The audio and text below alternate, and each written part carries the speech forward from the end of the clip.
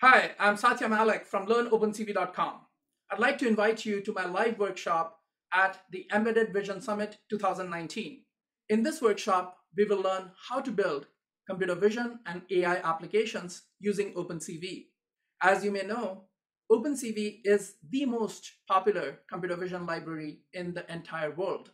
We will start with the basics of OpenCV and then move on to slightly more complex applications like panoramas and image alignment.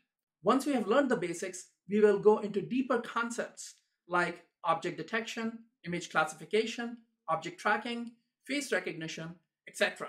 Of course, deep learning is cool these days, and we will use OpenCV's DNN module to import state-of-the-art deep learning models in our own applications. This workshop is designed with engineers and programmers in mind. We will cover enough theory to understand the ideas behind algorithms, but we are not going to drown ourselves in mathematical details.